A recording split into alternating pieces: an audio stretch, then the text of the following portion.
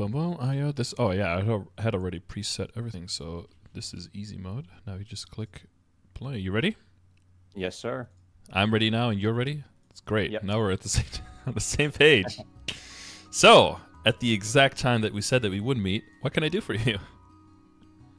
Uh, yeah, I don't know. I guess I just kind of wanted to get the rundown and kind of see Mhm. what I could do better. Um, I have, I guess, kind of like for my future plans, some kind of stuff I'm uncertain of. I have five bill sitting in uh, my inventory right now, and I'm kind of deciding like what the best way to spend that would be. Yeah. Um, Considering not? tomorrow and Yeah, well, I'm planning for for try to like 17 star as much as I can tomorrow. I don't know. That might end up costing me everything, but hmm yeah, I just kind of want to see the direction uh, I should go, and uh, I'd like to probably like my short-term goal would be easy lucid, hmm um, and long-term I don't really have like a long-term goal, but I kind of just want to like push as far as possible, basically. Mm-hmm. So this is your your main character, the Corsair. Yeah, the Corsair. Yeah, it's basically my Especially- only character. I don't really have any mules Gotcha. or anything like that. That was your your hyper burn for this event. Correct. Yeah. So I just got to 260 a couple days ago. Okay. And you're trying to are, are you like pretty actively playing? Are you trying to like like because this one is still in is this one still in Raindor now, or are you trying to get it promoted to the main guild? Yeah, well, yeah, I was actually thinking about that today. I don't, I guess I probably should bump up, but uh, yeah, I, I've been kind of on and off over the last couple of years. I- Mhm. I've played the game since it came out, so I'm just, I'm pretty inconsistent. But Gotcha. yeah, for the last couple of months, I've been, or well, really like the last month or so, I've been playing every day and Mhm. trying to get my dailies in and my weeklies. So Yeah, that's how they get you, right? yeah, I, I think you know I've just been enjoying it a lot because of all the, the free stuff they've been handing out with the most recent events. Yeah, the, the the value for your time is like you get a really high perception of the value for your time because there's just so much stuff going on, especially in the summer and the winter events. There's so much that they're piling on, uh, Yeah. and our winter events tend to be kind of cracked because in Korea they make their summer events really big, and then we get those in the next winter. So our winter events are usually just so much free stuff. I don't know if you saw the Oh, okay. road roadmap as well, right, with the stuff that's coming. Yeah, Like there's also so much stuff and like for your legion, like growing your legion from where you're at towards 8k, it's gonna be great for that as well. So cool. Yeah, that's kind of one of my yeah. long-term goals as well. But I, hmm Seems like 6k to 8k is gonna take longer than 1 to 6k, honestly. yeah, yeah, for sure. Yeah, it takes longer, but if you know, you know the the shortcuts and you know like the easy ways and capitalizing on that, so that's mainly like events and um, yeah, mainly events. If you use those properly for your characters, like the ones you the characters you like, you can just level by themselves. The characters you, you don't like, you kind of like brute force them depending on what kind of currency you have available in the event and depending on how far you want to get the characters right if you want to get them to 200 or to 210 or you know in the 170 something and then that's enough kind of thing um, as long as you know for every character like where you want to roughly get them then yeah whenever an event comes you'll immediately be like oh cool there's a growth potions cool that uh, character number one two three and four boom that's where the potions go you know? Or like oh there's a terra burninator coming cool that's that character because i want that character to either 200 or to 210 and i don't really want to train it at all so boom that's going to get a terra burninator. So as long as you're familiar with the type of events that are coming and you know where your characters want to go and whether you like them or not then you can immediately capitalize on uh, on events to, and then yeah that'll you know you might not be immediately 8k but you know that you're going to get there eventually as long as you just keep up with stuff right Yeah. I'm kind of new to all the event stuff. I used to just, Mhm. I mean, honestly, just kind of log in and just play for fun, and I would just kind of ignore the events yeah. for the most part. So that this is all kind of new to me, all the free stuff. Yeah, There definitely have been events where it was mostly like cosmetic, or you would get like potions. You know, if you're Yeah. talking about like 15 years ago, um, like the, the the Thanksgiving event would be like, oh yeah, now the monsters like drop mashed potato and gravy, right? Oh yeah. you, you don't you don't use as many potions, and then maybe there's like uh you can create like the cranberry sauce, which was like a magic attack buff or something. Uh, but that's about it. You know, it's more like a cosmetic thing, and it's an overhaul, and it's cute. But now, yeah, it's really centered around like how can we give you even more value for your time, and especially once they get feedback in Korea when it's like, okay, this is more value, but you're making us do a whole extra stuff. They're trying to combine like giving more value for the things that people are already doing and also making them do just a little bit extra that's not too over the top so it's like oh you just click login everyone can do that right uh, killing a thousand monsters near your level. Most people can do that if you just do your dailies. Like that's already calculated into that as well. But the main thing that they changed with this event compared to all the previous ones is that the we would usually get something like the basic exploration, right? Which this is already quite elaborate as well. It's a lot of stuff if you add all of this up together. But mm-hmm. then all of the stuff that's in the in-depth exploration, all of that stuff would typically just be in the shops and you'd have to like choose what you buy. You'd be able to buy a lot of it, but you have to kind of choose what you buy with the sunlight coins. Right now, I've been I bought out some stuff that's useful in sunlight coin uh, shop, and I bought a lot of those extra those VIP buffs. Right, those are really cool. Yeah. Because um, in the past they would have like a, actually. Yeah, exactly. On their weekly, they come back. Like in the past, they would have like event buffs in a map, and you have to go there at a certain time to get the buff. But now they just sell the VIP buffs instead, so you can more freely use them, and you have plenty of event currency to be able to use them. Maybe if you're playing like 16 different characters, you know, and you're playing all day, yeah. you will run out, of course. But there's a reasonable amount uh, that you can get. But so what they did is they took a lot of the items that you usually would have to just buy with event currency, and they just gave it them for free for the in-depth exploration. Plus, they also did instead of making everything either, you know, once a day or once a week, they put a lot of stuff in three times a week instead, so that you don't have to do it every single day. And also, since it is a three times a week thing, if you do miss one time in a week, it's not as big of a hit, essentially. So yeah. to make it more casual friendly, and then on top of that, for the general game, they've moved a lot of EXP away from the hardcore grinding. At least, you know, on the lower end. Once you get very high at the higher level areas, the monsters there give a lot of EXP. But they they condense way more exp into the dailies for the symbols and uh, the Tenebris dailies and the Grandis dailies and then Monster Park Extreme and stuff, right? If you do those dailies, you can still keep leveling at like an okay pace as long as you just play a little bit every day. Because that's what they want. They don't want people to come in and play for like a month and then disappear for 10 months and then come for the next, uh, or for, for four months and then come back for the next season, right? And then play for a month. They want people to play with regularity. So I guess they got you in that way, right? they got you yeah. playing regularly now. Um, yeah, I'm pretty irregular for the most part, but yeah, mm-hmm. I've been trying to be more regular. Mm-hmm. Yeah, it's not uh, like you yeah. have to, but you're feeling the value from from being regular, right? For sure, yeah. But yeah, it's like I think for a long time I didn't really have any goals, and then like a few months back I did CRA for the first time, mm-hmm. which I, sounds dumb, but yeah, that was kind of like an eye opener that there's a lot more to do in this game than just grind. So yeah. I've been enjoying it a lot more since then because I don't like just like grinding for hours. I like to mm-hmm. do the mm-hmm. bosses and uh, that kind of stuff. So. Yeah, and the problem is you kind of have to grind for a long time, especially if you want to do higher level bosses. Because if you don't have the level, yeah. you just you can't even get in. So.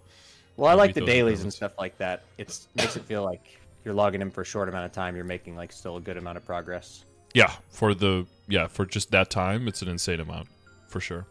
Um, okay, so so you're just kind of taking it like one boss at a time, just trying to get to do the next boss, like you said, mentioned normal lucid, I think.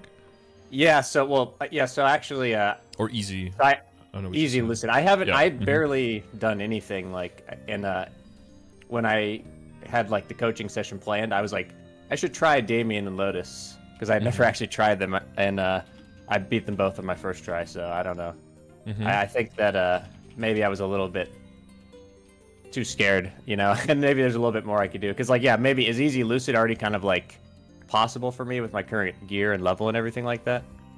Um, so yeah, just like possible. So you're trying to do everything kind of like solo as long as you can, or yeah. does it not matter?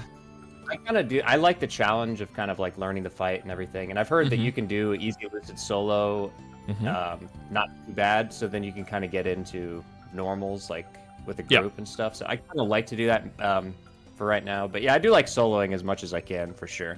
Mm-hmm. Yeah, you should be able to like normal slime would be like the next boss to try. Oh, and that okay. should be like within the range definitely as well. And then easy lucid is like right after that. It's very similar to normal lucid. It's got about half the HP, but a bunch of the skills don't hit quite as hard, so you a bit more forgiving of a boss fight. But oh, it's gotta be catchy quite well. a sorry to cut you off. Yeah, so Akechi is usually a little bit before. So I've got the dailies command right. So kind of like mm-hmm. order them there in terms of like what I, when I would check the next boss and when that roughly would be like around what level. Of course, you know if you're doing a hyper burn, you're like leveling super fast, then your gear has to play catch up for like the next yeah. ten to fifteen levels. Um, but the um, So I would say that Akechi would be a little bit under like Lotus and Damien, kind of like s- Oh, more together with like where C- where um, Chaos Papulatus is. Okay, so I could probably just one shot him, no problem. Yeah, just yeah. Well, he has two bodies, so combo. and a long animation in okay. between, so you wouldn't be able to one shot. But yeah, you'd be able to. If you do like half a burst on one body, half a burst on the other, you should die pretty quickly. Yeah. The other thing is just also like the power, the raw power spike you get from just unlocking the origin skill is immense, right? Yeah, So- that was crazy for sure. Mm-hmm. So okay, I should start doing that every week then. Yeah. So we got normal, easy, easy lucid here. Yeah, I've got it set up like 235 plus, but that's that's around when people start doing things like with parties rather than solo. Is once lucid comes in, you just really built for party because you got like you know cleansing, you got to do call outs, you got to look at multiple sides of the map. Doing that Oh, alone is, okay. is quite a, is quite a bit harder to do. But if you can manage pretty decently solo, then you're definitely ready to go into normal parties and like your damage is is like the in between where people who know exactly what they're doing. If you put like six people with uh if you know if your stat is good and all, uh six people with that kind of damage and who have 260 have origins together, you could probably do hard lucid. Oh, okay. So you, so you do Just jump knowing the fight. difficulties like very yeah yeah you just jump difficulties very quickly in the beginning. okay. All right, Yeah. that's good to know. This is this daily's command is pretty helpful actually. Yeah. I'll That's why a lot of people kind of don't bother with those bosses because they know or they've heard like that the bosses are pretty close together. So they'll just wait until they have more damage. And so they'll kind of have the same experience as you, but not with the same intent.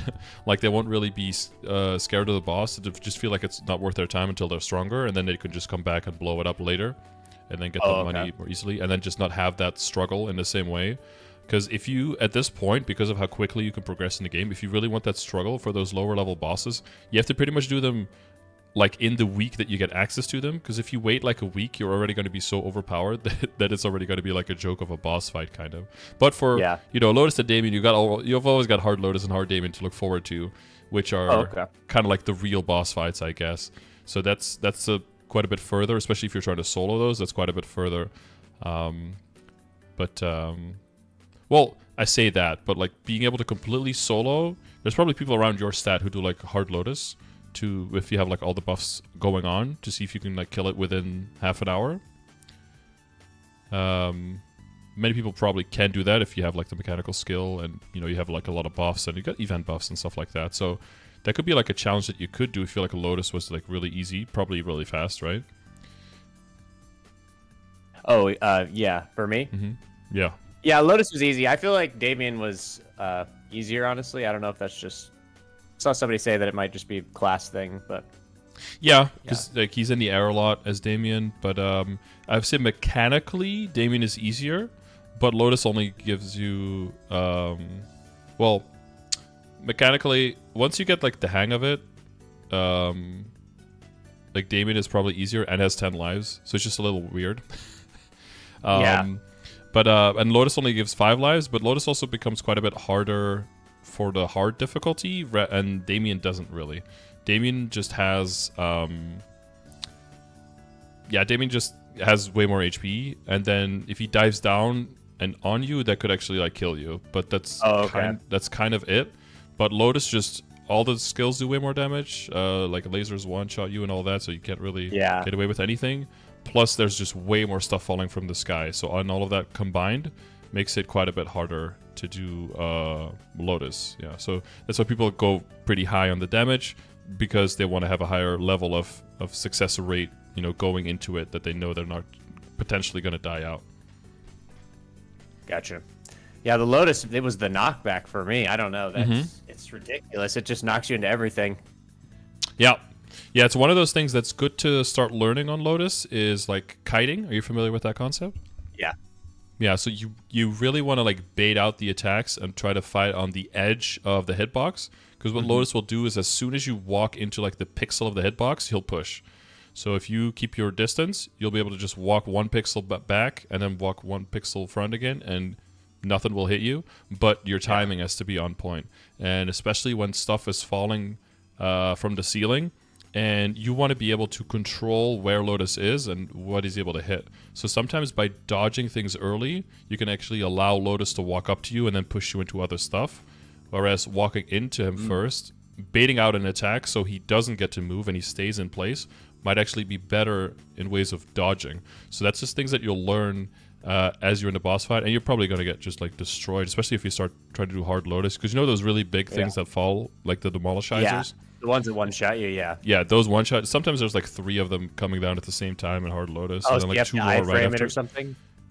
Well, you just have to stand in between everything. You got to like up jump Oh, okay. properly wherever you can. Um, this is also and lucid is is the same. Is when you start using blink more. Uh, might not. Oh, okay, I have yeah. that, but I hmm I don't use it. Probably never used it. Yeah, Is it but for if you use? Yeah, and you so you can stay in the air longer, and you can even go up a little bit. But also, if you get hit by something, um, you'll just get like stunned in the air, but you won't fall. So if something Oh, does hit you that doesn't one shot you, you can tank it and stay in the air, and you won't immediately fall into like a bunch of other stuff. So with this, you Yeah. can essentially like dodge Lotus lasers if there's no platform at all. Like if you accidentally destroy it, or Lotus is right on top of it, and it's super scary to go over there, right? Um, Yeah. That kind of stuff. And then for Lucid, if you're stuck kind of in the middle of the map in between the golems, which will happen usually in the beginning because you don't have enough damage to and constantly attack a Lucid and kill all the golems. Maybe with all your summons, you can do a decent job Mm. though of controlling the fight a bit more. Uh, but then if the dragon comes from the side, shoots a giant beam.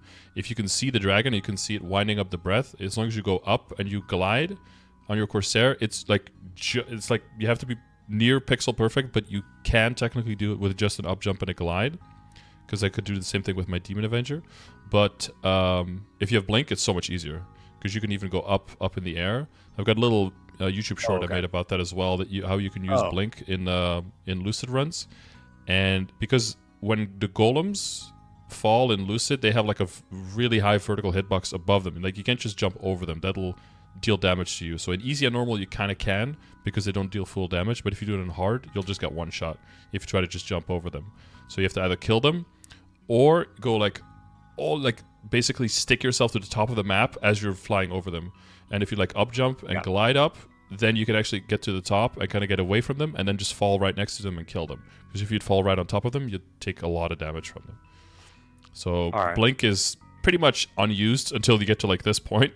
Uh, and then you can you can start seeing a lot of uses for it in this.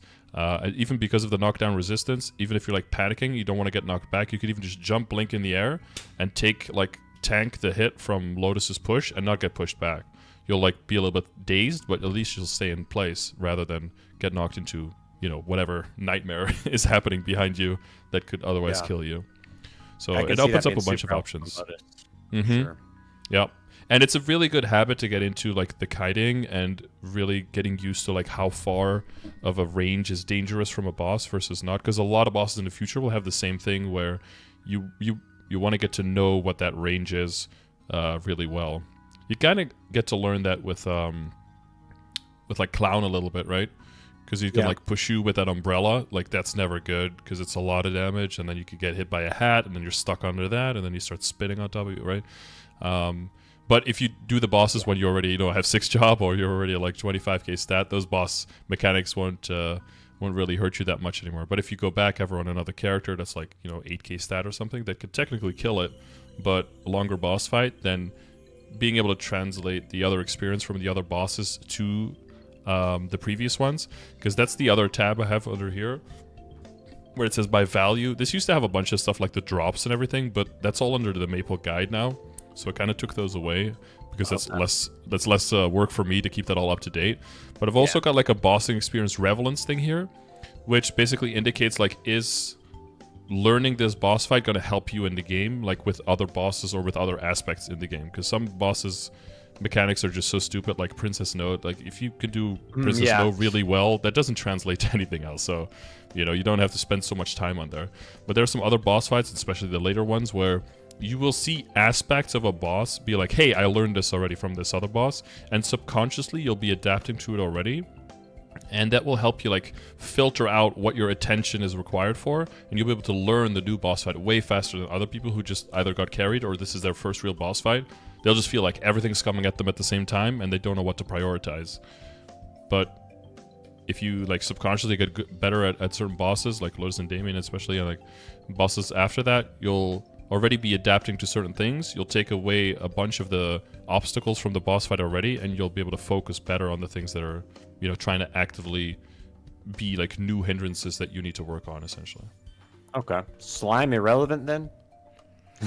Yeah, it's got like its own little mini game and everything. Um, Oh no. learning learning timing is uh, learning timing is good for it. Um, but it's got like giant beams that can stun you. I guess those beams come back in other boss fights, but um, yeah, it's got like a mini game where you like kick some rocks to block a portal, and then and then there's like slimes that are sliding down, and you have to slide them down through the same portal if if the slimes are green, but if they're gold, through another portal, and then and then he comes back stunned.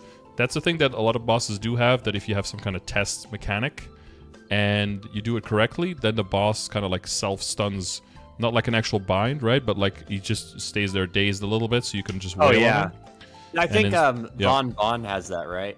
Yep, yep. Von Bon has that Okay. exactly, and Will will have that. Slime has that. Um, like Kalos has that. A lot of the later Okay. bosses have that.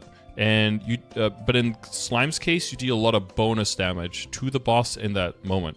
So that is the moment oh, that you want to you want to strike and really like get your burst in there. So for the planning, you know that the test happens every three minutes as long as you do it properly. If you're a three minute burst class, then every three minutes you'll be able to totally unload on him.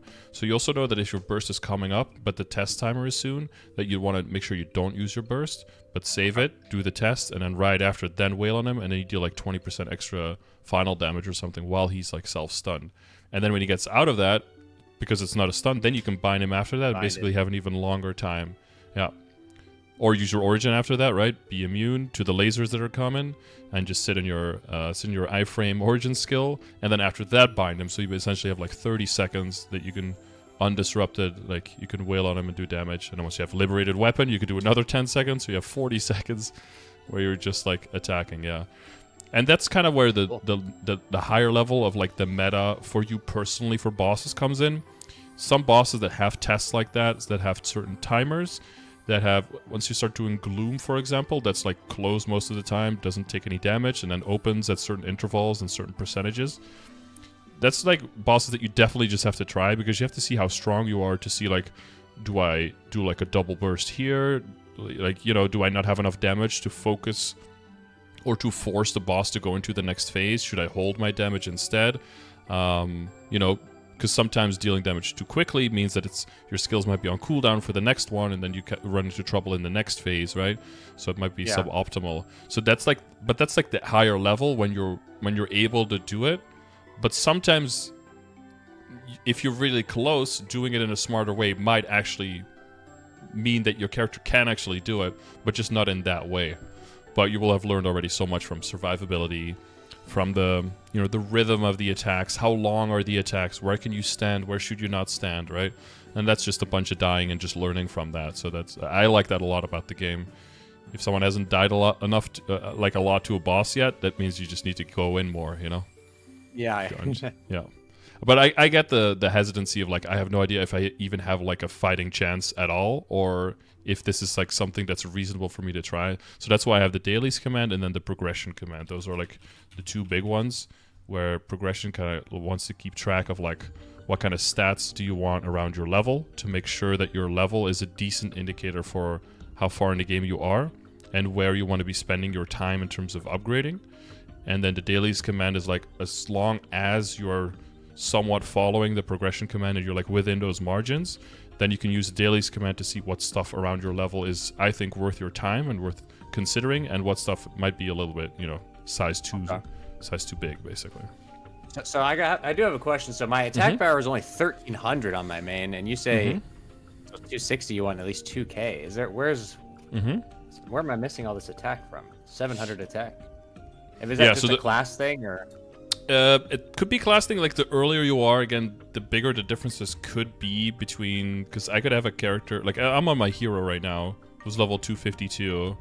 Ah. Um, my I'm at uh, 4,407. So you know, Okay. there, there goes your predictive power of your level, right? Yeah. Um, some level 250s could be seven years old, and some level 260s could be a week old. So there's a huge gap there. Um, but that could be something to to look into to see if you're not missing something glaringly. So that that it's good that you mentioned that. So I'll definitely keep that in mind. Um, Okay. But it's near impossible to put like a perfect number on there that fits everyone and doesn't make anyone feel like that's a little high or that's a little low, right? Yeah, I Um, understand but if you're if you're 50, you're like you're around 1500 and it says 2000, you're not like it's not like you're at 800 because then it's like okay, you know something's Yeah, something's like way off. But yeah, you're like a, th- a quarter off, so that is something to definitely be wary of. And it is possible. Um, if I had to guess, um, potential on your weapon secondary and emblem probably doesn't have as many lines of percentage attack. If I had to guess, yeah, for sure not. Yeah, and that's where that's probably where a really big difference comes from. Because if you don't have that much percentage attack, then a single line will make a huge difference in the total amount in percentage wise. So that that's probably where that comes in. But it is possible that you have a whole bunch of boss and IED on there, and you have no trouble mobbing, so that your setup actually gives you more damage, even though your attack is a bit lower. That is possible. um, definitely not. I because as soon as I got to the uh, 260 zone, I, I stopped one shotting. So Mhm. Cernium, but yeah, Yeah, but so I'm that's looking a, to get a little yeah. bit more damage out. that's a wall that you're hitting for sure, especially now because they just drag you to 260, like kicking and screaming, like I want to be, I want to do CRA on my own level. No, you're going to Cernium, um, and then you're there, Yeah. and it's like, oh yeah, now you need sacred power. These monsters, and remember, like, these monsters have been already nerfed quite a bit in terms of their HP because of the reboot, non-reboot difference. Oh. Uh, yeah, they used to have way more exp and uh, HP, but the people who got there got there more smoothly. You know, now it's like boom, you get dragged by your hair to 260, and now here you go, kill these monsters, and especially for very new players, it's it's really rough. Yeah. Yeah, I imagine most people are a lot lower than 260 bef- when they first clear Damien and Lotus. So probably yeah, it's people who that. yeah. So if you do it like right on the levels where you can get access to it, so if you want to relate it more to like a boss simulator or something, you could probably get boss simulators anywhere from between like 220 and 230. You can start doing Lotus and Damien probably, but that's with like all of the knowledge of the mechanics. That's with all of the knowledge of how do you fund a character, and like hmm. basically specifically designing the character purely for bossing as well. So if you know your intent for your character and you know where your funding needs to go, you can be way more precise and way more efficient in the amount of money and time that you spend on a character. But you need your first character to kind of, you know, to kind of roll through to get a, a feeling for like how strong do I need to be? You know, how hard are these bosses actually? yeah, uh, and that was kind of my plan with the burning was get this guy up to 260 and then kind of see what I could do. And Mhm. See if you yeah, still like it. know. If you want to keep going, you know, that's also. well, I, I love the Corsair. I don't think I, Mhm. th- I, definitely want to keep this character as my main. But yeah, Mhm. I don't That's know. good. I'd like maybe like to have some mules to support. Yeah, exactly. Yeah, I mean, we don't know what's coming in. Uh, uh, you know, Korea said Yeah. that we're changing a lot with like where money is coming from. We're already a lot of people are already set up with a very strong, uh, you know, in account economy of getting really good bossing mules and all of that. So as long as we keep building on that, we should have a good time keeping our money up. But yeah, we'll we'll see what they do because it's a lot of a lot of question marks right now. But it's just something to keep an eye on, but not really let it determine every single d- decision you're making right now. Uh, but yeah, as we know more, hopefully we can kind of use that in our favor. You know. Yeah, I'm, I'm not super worried about all that right now until we see Mhm. changes here. So. Yeah. Yeah, I'm, I'm aware of everything going on. So Okay, that's good. That's good. Um, yeah. So you can see, yeah. So you've got one solid line of attack on all of them, uh, which is all prime line. So that's nice. So that's thirty six. Um, but yeah, you can imagine someone who has like fifty to sixty percent instead of attack, right? Then that total attack will already go up by a whole amount. That's why those lines are just so sexy and just so useful. yeah, it's just crazy how much it costs. Like when I put it in the calc Mm-hmm. to get like a 24% or something like that, or Yeah. 18% even. Yeah, you've already been playing around with the calculators. Yeah, there's definitely. Oh, sure. Yeah, and that's uh, but yeah, I guess that brings us into um, a good topic is like kind of like realizing which upgrade makes sense to do and which upgrades don't make sense to do. Because you'll see people who have like you know all of their stuff is like 11 star uh like epic or something. And then they'll have like a legendary weapon that's like two line attack one line boss and it'd be like okay that weapon is really good. But if you took and then you, they spent like average on it. If you took like you know 80% of the money on the weapon and settled for something that was just 20% of as good as this and spend the other 80% on like your other stuff then your whole character would be doing like three times the damage you're doing now. Um, Yeah. it, it Maple Story is very much a game of like knowing which pieces give you the damage and going for it, but it's also um, once you've got the initial, you know, your set completed, it's really a matter of like bringing everything up evenly, but not evenly in terms of numbers, but evenly in terms of cost efficiency kind of thing. And you- Mhm. Yeah, that's where the calculators come in and are super uh, clutch because I can't calculate all those numbers. I don't know if you can, but throw the numbers in and just tell me what tell me what to do, calculator. You know, just Yeah, it- informed decisions. That's that's what I'm getting to. It That's the puts like this decision into a totally different perspective, kind of when you're actually Mm-hmm. looking at how much it's going to physically cost you. Yeah. And to see if it's even reasonable to want something, right? Be like, oh, someone else has that. I want that too. And then you see how much it's going to cost and be like, or I remember this one time someone in the chat was like, why is your, um, why are your secondary or emblem not 30% magic attack? And I'm like, well, because I don't have that kind of, I don't have like 140 bill lying around. And he's like, Yeah. oh, I used like 14 cubes and I got it on both. I thought it was very cheap. I was like, well, I'm here to tell you that you were really, really, really, really lucky because it definitely is not that cheap. I'm like, oh, okay. And that puts things into perspective as well. Because how is he supposed to know? He just cubed a little bit and got it, right? Like, That was me until like a few months ago, honestly. So I, like I, I kind of just played. I didn't like look Mhm. anything up or anything. So I've been trying to learn everything I've been missing out on recently. I have like some questionable purchases, like my horntail earrings or legendary potential. hmm so and maybe some. I could have spent that a little bit better. So I don't know.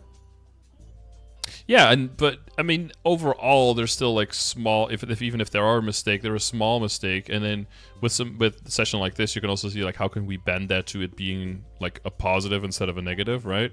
And also Yeah. for every next character that you're gonna do, you can also know that then decisions like that that you make are just conscious decisions and not just like well let's see what happens but more like i want to get this and how am i going to do that but Uh-huh.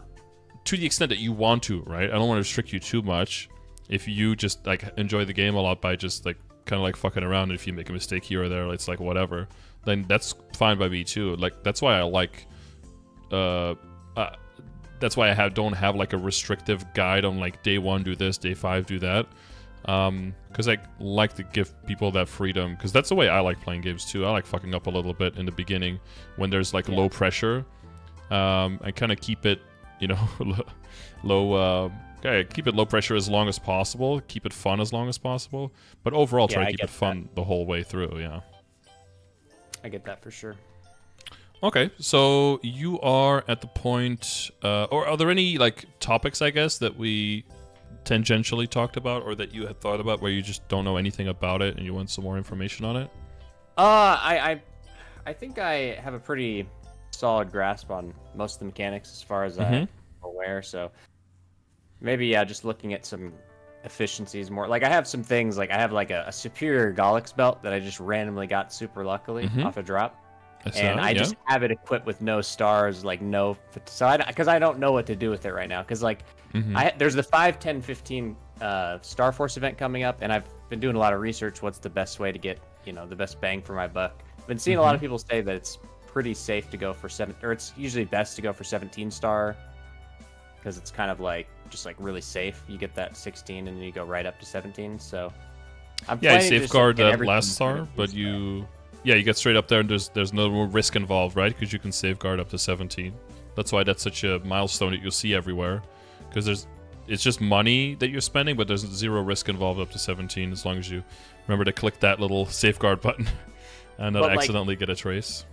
With the Gollux, like, is it going to Mhm. be? It's a super rare item, or maybe it's not. Uh, Mhm. maybe I'm misunderstanding. But like, do I want to like wait?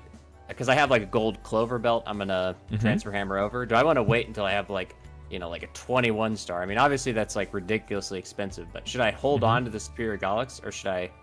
Because I also have like a reinforced Gollux belt. You know, so I'm Mhm. kind of like not really sure what's the vibe with that. I know the the reinforced Gollux ring is supposedly best in slot, so I was planning on buying that first. And since I already have the other two pieces, I was thinking maybe just go for the reinforced set. You know what I'm yeah saying? so yeah there's a lot of there's a lot of paths right there's not like one Exactly. specific so depending on how quick you're going and how many pieces you have whatever is optimal might be changing in your um, in how you get from point a to point b um, one thing I do want to mention that just because something is best in slot, even though I guess technically reinforced will fall out of best in slot if you get far enough. Um, Oh, okay. is um yeah because you'll have Oz ring, Superior ring most likely, and then you have a endless uh terror, the pitch ring, and then you have the slime ring. Those will be Okay. those will all end up better. The thing with whenever you are sharing resources, you have to look at all your options, right? So everything is sharing Meso, so you look at what is the cost of a potential, what is the cost of star forcing, right? When you get to doing Gollux stuff, the reinforced, especially if you have to buy the piece, now you're sharing resources. You're sharing resources with your superior set, right? Yeah. Uh, because you have to buy two pieces can drop, and the other two pieces can you have to buy from the shop. You're aware of that?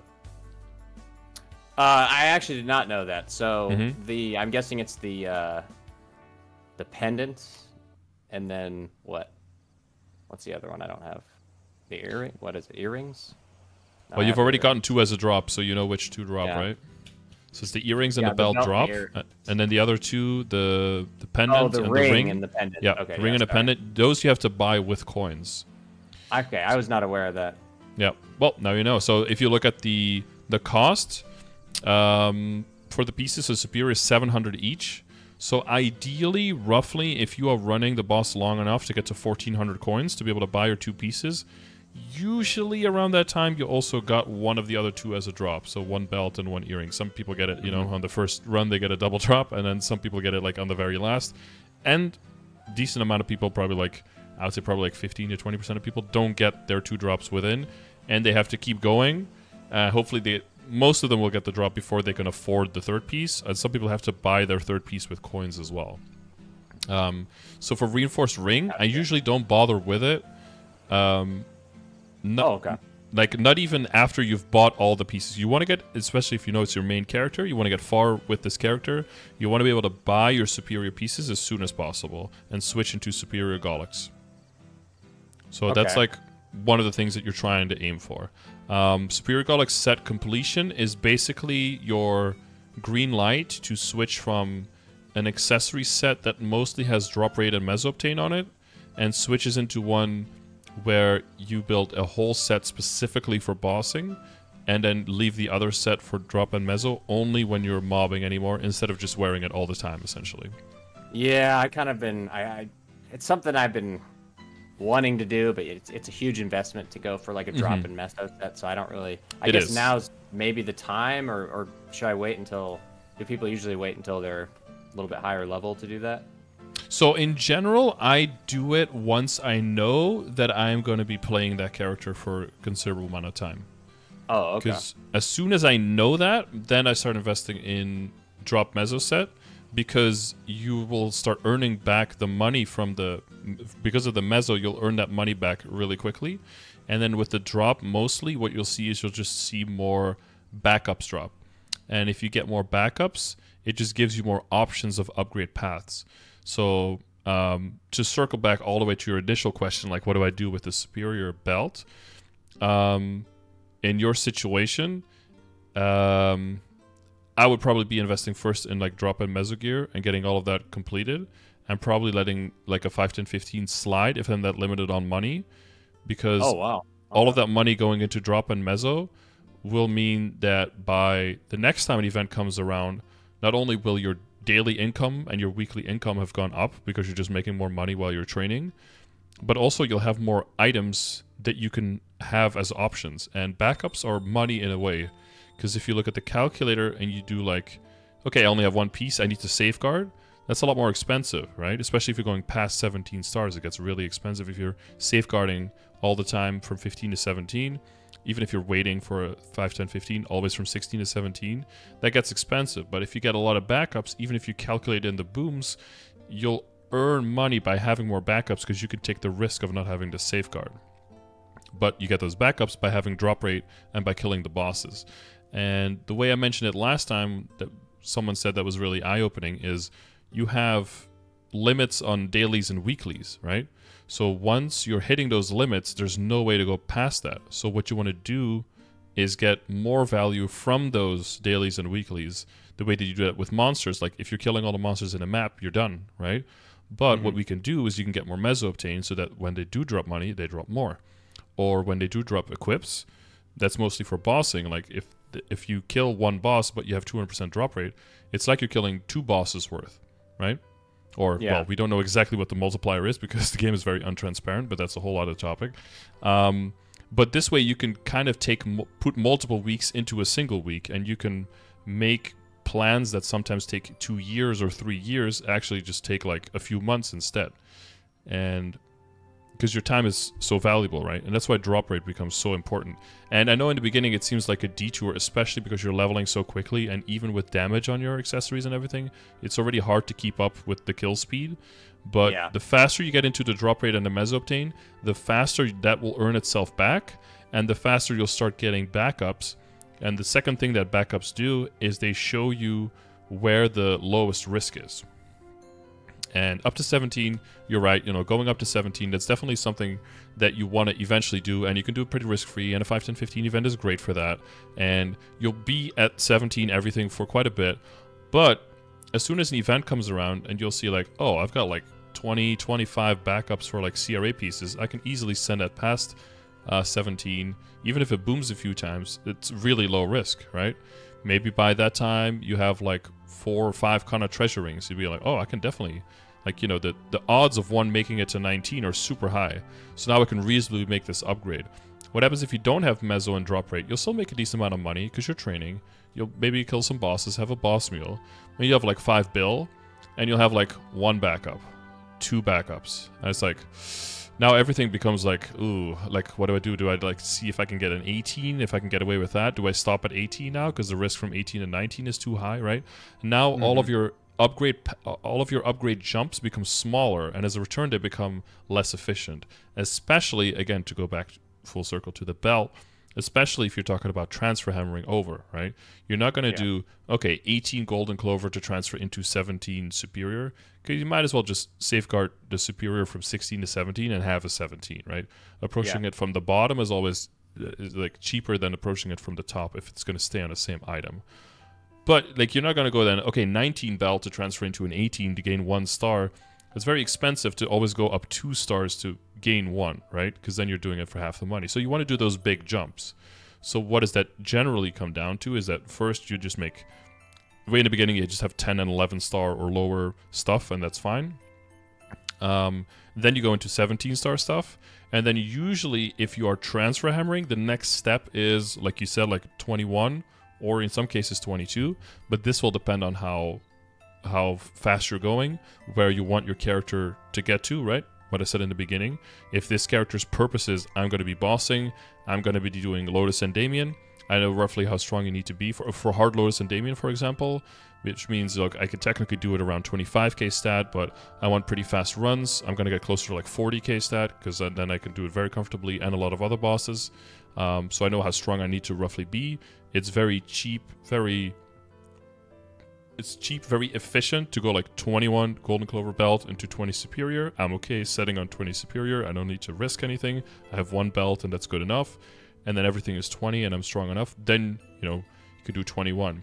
What some people might do is they wait until they have a second belt. Their first one is on 17, and then they'll make a 21 Golden Clover belt, transfer that to the second belt, try to tap the second belt to 21. If it doesn't go, you can still wear your original belt. If it does go, you can upgrade the other one, and then your 17 star belt can become a backup for much later if you're going for 22 stars. And that kind of circles back as well to the coins when you're sharing backups. If you dedicate some of your coins early on to a reinforced ring to get a slightly stronger ring in there, you're also slowing down your you're initially slowing down your purchasing of the superior gear, which means you're slowing down your completion of your damage set, which means you're slowing down your kill speed on the higher level bosses, right? And you're for after that, you're slowing down getting backups, potentially getting from 20 to 21 on pieces, and behind that, getting from 21 to 22 on things. You're slowing that whole process down by gaining like a little bit of stat on the on the ring. So for rings, usually what I want to focus on more is like, yeah, you get that superior, but just use those event rings, abuse the hell out of those event rings because they're really strong. They're like 17 to 18 star equivalent, and they just you don't, don't cost any money, right? So you can get decent potential on them. and then that's cool. And then Slime Ring comes, and then Kanna Treasure Ring can go to higher Star Force, way more reliably than Reinforced, because every single time you have to buy a new Reinforced if you want to go past 17, and that's 400 coins every time. You buy two of them, that's one whole superior item that you lost. It's 450, I think. Yeah, so that's like more. Oh, It's like 900 coins, right? If Reinforced was like 200, this could be a completely different story, right? But because of how the costs are, and you know. okay, right on. Yeah. So initially, it's probably just even at this stage, you could just transfer already your Golden Clover belt into the Superior because Superior has very high base stats. It's a little bit of an exception, right? It's got like 35 attack on it or something. Yeah, it's, it's All- better than the belt, and it's got nothing on it. It's got nothing on it, yeah. So if you just trans, if you look at Transfer Hammer, you can see what the outcome will be. So you'll see you'll probably have a six percent Dex line on top and six percent MP on the bottom that doesn't do anything, and then the flame will stay what the Superior Ring, uh, Superior Belt Flame is now. Yeah, which it, it gets crap flames, right? Yeah, yeah, doesn't have flame advantage, and then the Star Force will go down to nine, like you know, big whoop. Um, you could very easily pick that back up to ten or eleven or something. Um, but uh, in general, I think working on your drop in meso set now, if you know for sure that this is character that you want to stay with, because what's going to happen is you're going to increase your chance that by the time you earn your 1400 coins, that you've also seen an earring at that point. And then you can move into Superior Gollux faster, right? You're Mhm. just giving yourself a better guarantee to stay on point with the things that are time gated. Is what I'm getting at. Yeah, I got you. I got I got a free event ring from the event coming up, so I'll Mhm. probably Yep. try to get that. Some And that's what- yeah. line on that. That's why we're, it's good that we started with events because those are the things as well that can determine like, do I really need to get another ring? Right? Do I really need to reinforce? Is that necessary here, or can I just get one or two event rings and then some side rings? Because in the end, you're looking at everything is like one giant pile of stats, right? If you're trying to min max and you're trying to best in slot, then you need the best pieces if you want to be the strongest person. But the second strongest person, if all they're lacking is instead of a reinforced ring, they've got the Kanna treasure ring, then they're lacking, I think it's four stat and three weapon attack Oh, okay. on, and you're looking at progression. Because it's just the base stats, right? They're the same level items, so they get the exact same upgrades and potentials and everything. So you're looking at okay, these people are like seventy thousand stat, but this guy has seventy thousand and four, or you know, with potentials and everything, it'll multiply to like seventy thousand and and thirty or something, and be like, is that a you know reasonable amount of damage lost at the end? If there's nothing else that can give you damage, I guess, but if that person has like half of a ping more, that's more of a damage difference than the ring is going to be, right? To put it all into into perspective. So is it worth like slowing down your entire progress? I think not. So that's why I also Yeah. take a step back from best in slot because best in slot is best in slot, sure. But the next best thing to best in slot could be like one tenth of the effort for like 99% of the damage. That's kind of like the the ugly truth behind best in slot that is really hard to put into uh, into the into the eye, I guess. Yeah, it's it's kind of it, it's making me think about my my situation with my pendants. I've got Mm-hmm. the the Dominator, and then Mhm. I also have a Chaos Horntail, which I, I only learned recently that doesn't it doesn't get uh, Advantage Flames on the Horn, Chaos Horntail necklace. Yeah, that's amazing. We used to call them boss flames, uh, but we stepped away from that mainly because of the pendants, because they drop from bosses Yeah. and they're part of the boss accessory set, but they did not get boss flames. So we started using different terminology and used flame advantage instead because it was just a better catch-all for stuff. Um, but yeah, that's a good point. You brought that up, and you talked about the earring as well. But this is very easily salvageable, and that's because we're just going to turn this into drop and meso gear. That way, all the value of tiering it up is going to get 100% translated over, and you're going to get more money and get more drop rate. Plus, I, the great thing, so usually what I do is, okay, first, you know, a little bit of star forcing, cool, uh, a little bit of flaming on a weapon, but that's pretty much it.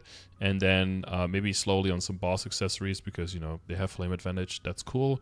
And then once potentials come in, okay, weapon secondary and emblem just needs to do something, needs to do something good. And after that, immediately up to the accessories. Because what happens is you jump your accessories from epic to legendary. So they have like 6 or 9%. And when they end up at legendary, what do they have? 6 or 9%. So you don't lose any damage there, but you just net gain all of the utility of drop rate and meso essentially. So you're not getting weaker there. If you do the intermediate jumps first, first to unique and get some stat on there, of course, because you have a unique piece, right? And then to legendary and you try to get some stat and you roll some stat on there. Well, now going back down, quote unquote, to drop and Meso feels bad. And you don't want to have to do that. You don't want to lose your kill potential. But if you never had the kill potential there to begin with, it's a net gain, and you learn to see like where do you get your kill potential from otherwise. You check in the progression grid after the WSE and the potential there and the flame on the weapon, a lot of it comes down from like the nodes, keeping up with your symbol dailies, your know, mm-hmm. symbol dailies matrix, um, not having horrible flames on stuff like the CRA being built up, the set bonus, getting stuff to 17 stars. All of that stuff will start coming. But if you don't have the foundation of the drop in the meso and you start throwing the money there immediately, yeah, in the beginning you're going to get there quicker. But once you want to do the step after that, going like past 17 star, going to 19, going to 21, those things are going to take forever because yeah. the money is not going to come in as quickly and the backups are just not there. So everything is too risky. You might you might strike gold and you might actually hit it, or you might be what is a more reasonable outcome, someone with just a bunch a few traces and just nothing to throw their money at. And then you'll eventually have to go for drop in gear anyway, but then you're behind on the curve on the people who didn't. So you're kind of right on that like crossroads a little bit where you've um, you haven't really gone too far I think, into like purely going into damage. Because again, like the E ring, if it was 30% dex, we'd have to make a different decision here, right? Yeah. Then probably I would say take a reinforced ring instead, get that drop rate or meso on that, use this one for damage. But this one is already legendary, it has just one line. Try to get drop or meso and 9% on dex on it. But initially, just drop or. Boom, you got it. Move to the next item. It's already unique. Nice. That means it only needs one tier up. Um, so what we're mainly going to look at for you is when is the DMT for accessories? January 20th. Again, exactly. And that's really soon, right? so yeah. 5, 10, 15 is probably a skip angle for you, which feels bad. Um, yeah. But if if instead you can get 10 items to legendary or you know, eight, I guess, because yeah. you have one here, you have nine accessories. You get eight of them to legendary instead of costing you eight bill, only costs you four bill and you could basically get your whole drop and meso set pretty much done, probably with like five to six bill. That's that's great. That's a great opportunity for you to basically spend half the money, and then whenever the next event comes around, if it's a thirty percent off, cool. That means you can get everything to fifteen and way down 15. If the next one is a 5, 10, 15, eh, then maybe you just use that and get to 17 on the items that are already done. And if you have enough money, you can bring some stuff up to 17. But you'll mm-hmm. have more options when that event comes around, so you'll be able to make financially more efficient decisions. Okay. Well, yeah. Oh, and another question I kind of had since I'm kind of just starting to get the Absolab coins, mm-hmm. with, with the purchase priority, do you usually go for the weapon first with the the Damien coins and then go for the gloves um, with the Lotus coins? Yeah, typically, yeah. So it's also because I, I, guess that, that that goes a little bit back into the the upgrading path and stuff. Because once you get a better idea for like especially for your next characters, like where you're gonna go and how fast you transfer, that gives you the second input that you need beyond like you know what stats do a piece get and you know how expensive is it but also how long am i going to hold on to this piece right? Because when you transfer hammer the potential goes back down to epic. So in the beginning you'll make very few things legendary unless you know for sure they're going to stay legendary for a while because otherwise all that tier up money that upfront costs is just going to get lost again. Yeah. So it's perfectly fine for your weapon to be epic or unique because if you're going to go up to Absolab you can transfer it over. You can get the seven right. You can go down to sixteen. Safeguard last star, boom, instantly seventeen star weapon. But the potential is going to go down to epic, so that that extra billion or you know eight hundred mil or something from the T-Rep, that potential is going to get lost. That value. So yeah. That'll get streamlined as you go, but you learn from your first character. It's like it's yeah, it's totally fine, right? Yeah, I don't feel too bad about the Fafnir yep. because I, I queued that up during an event and mm-hmm. it, it was a huge help during Damien Lotus. So plus I'll need it for a few more weeks before I get the weapon anyways. But yeah, it does kind of feel yep. bad losing that. Yeah, and it, it's it, it, it because you can run that into the ground and be like, well, eventually, you know, I'm gonna get like eternal top and bottom, so why should I even invest in CRA, right? That's like the other extreme of that. Well, you're gonna need 22 CRA if you want to get even remotely strong yeah. enough to kill those bosses, right? So there's a, you can go ad absurdum and, uh, and then just kind of be silly about it. So, but j- just to you know, for the grand line of like where you're going from the, you know, where's your character going? If like the sky's the limit Um, if you don't know where the next step is, then you can invest pretty heavily. And in the beginning, for your first character, if you spend all your money as you're getting it, that's probably fine as long as you're spending it remotely in the right direction. Because you don't want to be like, oh, no, no, I can't spend because there's no event, and then sit on like your first 20 bill ever, like hold on to that, your character is going to lose so much momentum, right, from not spending that at all. Yeah. It might be better spending it a little bit inefficiently than just sitting on it to, because you don't, you know, you're so uh, afraid of making any kind of mistake, right? So this is totally, it's totally fine. It's just, I just wanted to mention it to, to, to put it into perspective with the, the whole thing, yeah. Yeah, I got you. Mm-hmm. I do have the gloves I, at, at purple, so I'll probably. Mm-hmm. I have enough coins to get the uh, Absolab gloves, so I'll probably just end up transferring those over. They're only 12 stars, so it's not really. Yeah, in general, the thing is just there. always like whatever gives you the biggest upgrade, right? So if you happen to have right now like a really lucky glove with like a really good flame, then for you, glove might be, which you kind of have. Glove might have be, good flame. yeah, glove might be a slightly lower priority for you. It's just Okay. that usually cape is a low priority because tyrant is already really close.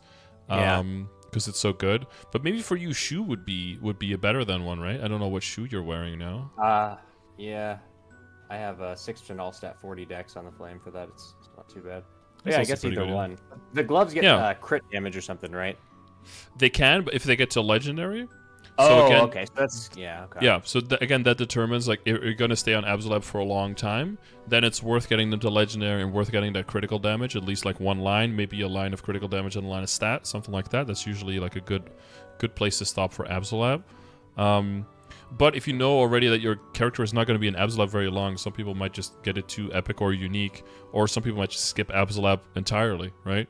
If you know that you're going to go straight into Arcane, your character can get strong enough, and they can, wearing some Tyrant gear, wearing some other stuff, and then Legion is going to carry be carrying you more. Mm. You're going to throw way more nodes onto it from another character, for example, and you meet the requirements to do Hard Lucid and Hard Will. Well, now you can just wait for the boxes or buy them, you know, buy the droplets with money and just gather the boss droplets in the same way that you gather the Lotus and Damien droplets from killing the bosses, and then just buy the arcane gear and just skip over Absolab altogether. So there's a lot of options if you know where you're going and you know how quickly you're going to be getting there realistically with your character. There's a bunch of steps that you can start skipping. But for your first character, it's probably a good idea to just take it one one day at a time and just go through the steps and with some foresight of course knowing like how long you're roughly going to be there and what the next step is so you don't over you know unnecessarily like over fund things. Um, but eventually you'll be like okay you know in hindsight i only had the Absolab on for like you know it took me like three weeks to get the Absolab, and it, you know i already switched out of it after like a month and you could be like oh wow. You know if i'm if i get lucky and i get a drop from a run somewhere and then i'm already like a quarter of the way there maybe i'll just skip it on this other character you know? Again once you have the drop rate and once you get the drops then options will start opening up and yeah then you just want to play into those essentially All right, that'll be definitely my priority. Uh, I, I going forward, I do have a another thing on the the inner ability. I I've got a Mhm. best slot for my top line, mm-hmm but you know I, I know you can get meso or drop for that as well. So I don't know if you think that's worth rolling off of or just best to keep that. I don't know. It's boss damage, so it's I can Mhm. definitely see not being very useful in this phase of my account if I'm just farming a lot. I do have the item and drop rate down below. Yeah, so if you just had item and drop rate and the other runs, ha- uh, other rolls had like nothing, I would say probably just either circulator or 50% off event, just roll a little bit and, and get like a drop or meso on top, because these are lines that are they're very limited in your equips as well, right? You can only get up to 100% from uh, meso obtained total in your equips, and only up to 200% drop rate from your equips in total. And these go on top of that. So in that sense, they are very valuable, and Yeah. they will, uh, as long as your top line is not something that determines the functionality of your character, then getting drop or meso instead would just allow you to go so much faster. Now you have the boss line, and you also have the like near perfect epic lines of 9 and 10 i would say this is a totally fine ability for you to have for quite a long time plus Okay. we know from korea that in the summer we're most likely getting the ability presets where you can make another one so Oh, that's great. Yeah, we'll make up to three of them. So this will be a really good time for you to just save up honor experience so that when that time comes, then you'll have more honor experience and now you have more resources. So now you can make better decisions, right? Now you can know where your mm-hmm. character is at and be like, okay, I don't know, say the meta changes and you need like cooldown skip top line or something. Okay, then you could just re-roll this one. Or let's say that there's no really best in slot at that point. There's a bunch of them that are equally good then you just keep this. You make a second uh, inner ability line that has like 20% drop top, because probably by that point you don't want to get your money mostly from um, boss crystals. From boss crystals, exactly. Thank you. And so the drop rate will actually become your most valuable resource in terms of like getting pitch drops or getting ring box drops. Those are oh, going to okay. be giving you insane value. So anywhere you can min max on drop rate and getting like a 20% drop uh, inner ability, switching to that when you open up the box. Maybe waiting a little bit because it seems like they're going to put a cooldown on things. Um, oh, and then no. switch back into. Uh, well, the main thing that they put the cooldown on was the overall switch because what people would do is they would switch to inner ability. Uh, to a Legion preset with buff duration, and then press a bunch of buffs, and then switch out of it into a damage preset right after. Oh, and oh, okay. that would give some buffs for people like too long a duration, um, so they're gonna switch it later, but for now they've given a um, they've put a cooldown on on like the general full character switch, but I don't think there's a specific on the inner ability switch if I'm not mistaken. But yeah, by that point, but you're already like on levels of min maxing at that point, right? But you'll set yourself up now by knowing that your inner ability is really good for now, and that you can start saving up honor experience so that when that opportunity comes, you'll have the resources to be able to make choices that make sense for the resources that you have. Yeah, and I don't have to feel bad about just because I don't have any mules, so I've just been using all the honor XP on this guy. Mm-hmm. So uh, it's good to know that I can keep doing that. yeah, for mules, it's really so. Yeah, when I said like requires the functionality of your character, there's really only two lines, and that's either attack speed or buff duration. If your characters mm-hmm. heavily rely on those, um, the fun part is that I think all characters that need buff duration, also their best in slot top line is also attack speed, so those are like the really fun ones. Oh. Um, but for most of those characters, um, if you just set like a top line buff duration as well, that's like 48 or 49 or 50, um, that's usually really close to being also really good. And like as a boss mule, that's usually fine. You, you can just stand on that. Um, but the attack speed, yeah, that's usually on characters that even with the attack speed, they're already kind of slow. Like a Cannoneer, Marksman, um, Kaiser. Like without the attack speed, you really feel that on those characters. And yeah. yeah, so there you really want those top lines. But if you don't have those, you have the luxury of just yeah, drop rate, meso obtain, just any any kind of stuff like that, and just propel your progress, you know, by a, a factor and sit on your honor exp and then when you're really trying to min max for bosses and you're like hey i want to you know everything else is so expensive everything else takes months to upgrade now you have like two uh, two million two and a half million honor exp now you have a really good shot at actually making a killer inner ability that really will make a difference in terms of the damage and then you can switch over it gotcha so you had a good a good pace there so it was a good question good good timing um One that. thing to circle back real quick to uh, to drop rate. So I have the drop rate command. I talk yeah. a little bit about like how you can go about the lines, uh, the names, the mentions, like how they're different. Because there's like meso obtain, meso drop rate, item drop rate, uh, item obtain. You know, make sure that you have those numbers and then the percentages from familiars as well. That you have those clear, and and also like how to go about like making your first set essentially of like drop in meso pieces to do it in a very cheap way that gives you the best returns um because you want to make sure that you have like the right pieces picked out for this before the event comes so you know exactly what you're going to be doing and what your approach is going to be on the day itself right yeah um so i don't know if you had any questions on like which items would be good to pick for one or pick for another thing um well I mean, you kind of already said that uh, the horntail and the the earrings would be good. Mm-hmm. Um, what about yeah the the you so the event ring? So I have like a hundred cubes for the ring. So I actually have yep. an event ring. I guess I could. It's twelve percent dex. I could. Would that be a pretty good one to maybe turn into a uh, a drop meso item? I would say right the 200 that you can have. You can maybe wait a little bit longer. Make sure that you have both of the rings so that in case they go because there's a good chance that within 200 they also just both get to legendary and you're able to roll within legendary with them right? So they're Yeah, those ring, okay. that's basically the event rings are free and the cubes are free. You're just you're getting like 40% either meso or drop essentially from that. So I would cash in on that hard, yeah. If you get any kind of so usually for your first pass, if you're trying to make nine items, you'll probably get a little bit more than four drop or f- more than five meso, right? It'll be a little bit lopsided. And then just pick whatever that you have more of or too many of. Then look for the items that you have that line of that doesn't also have dex and then re-roll those. So that hopefully by the end, most of them also have some dex on it. So uh, because you can imagine if all of them have 9% dex, that's nine equips, that's 81% dex that you get from that. So you know all the little bits there pile up and that also takes a little bit of weight off of your CRA pieces and off of all of your flames and all of that mm-hmm. that you don't need to min max on there as much. Okay. Yeah, ev- and then, event rings are event rings are great for that. And the, the best thing is about best thing about event rings is that if you do end up hitting a lot of stat, so usually if you had like 21% stat, it'll be a little bit like on the edge, but 21 is still very cheap to roll, but if you hit 24 or higher percent stat, you know, then you'd be like, well, now I want to keep it for damage, right? Because now it's too good. yeah. But then the event ring is good, is flexible in that way. Like if it ends up being drop or meso ring, that's great. And if it ends up being damage ring for now, it's not ideal, but it's also fine because that means it's essentially like value of a 19 star ring. That means you don't have to risk your Kanna treasure ring as early, or that means you don't have to think about your reinforced ring as early, right? But it does mean that you might have to settle for slightly weaker rings, like the Silver Blossom ring, like the Treasure Hunter John ring. Then some people take like Iphia's rings or something like that. Um, but then you could just do the Kanna treasure ring, for example, right? And if then, Yeah. then that one hits stat, well, now if you have both of them with stat and you do need to drop a meso ring, well, the Kanna treasure ring is eventually going to go past 17 star, is going to overpower the event ring. So now the event ring needs to be re-rolled again because even if the Kanna treasure ring blows up, it turns into a trace.